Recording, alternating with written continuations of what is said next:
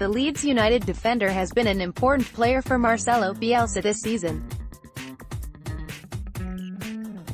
Leeds ace Barry Douglas took to Twitter today, confirming that he will out for the rest of the season, after rupturing his knee ligaments against Millwall on Saturday.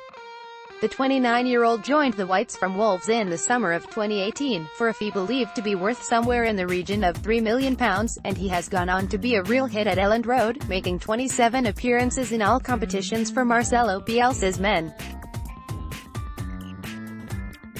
Leeds currently sit in second spot in the championship table, five points adrift of league leaders Norwich City, but perhaps more importantly, two in front of this placed Sheffield United.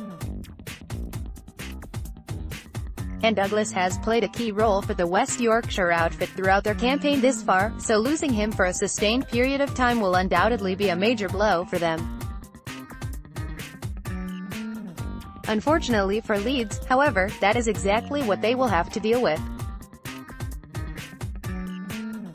The left-back took to Twitter today, confirming that he will be out for the remainder of the season. Not how I wanted my season went but unfortunately for me that's sometimes football. Thanks for all the messages of support I really appreciate them and will use them to help me come back stronger. Pic.twitter.com slash UKXMGB709 Barry Douglas, at Barry Douglas 03, the 2nd of April 2019.